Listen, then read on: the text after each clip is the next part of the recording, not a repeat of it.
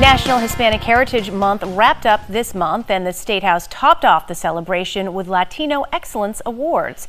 22 News State House reporter Ellen Fleming was there and spoke with Western Massachusetts Latino leaders.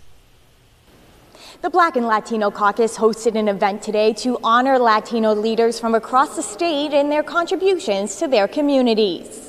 Representative Orlando Ramos, Representative Shirley Arriaga, Representative Bud Williams, and Senator Carlos Gonzalez were all in attendance as members of the Black and Latino Caucus.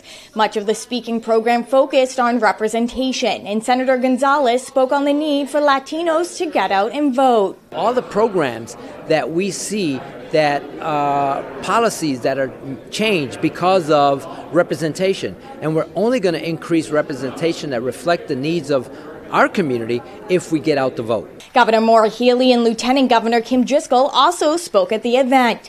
Governor Healey pointed towards accomplishments her office has made that has benefited the Latino community, like providing driver licenses to undocumented immigrants and starting the Council on Latino Empowerment.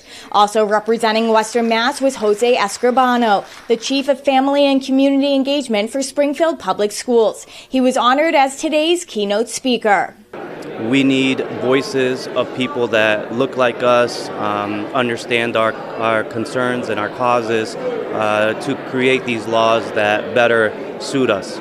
According to the Boston Foundation's Research Center, Latinos make up 50% of Holyoke's population and 42% of Springfield's. At today's event, individuals from all over the state were honored by their local lawmaker as Latino community leaders and trailblazers. Working for you at the State House in Boston, Ellen Fleming, 22 News.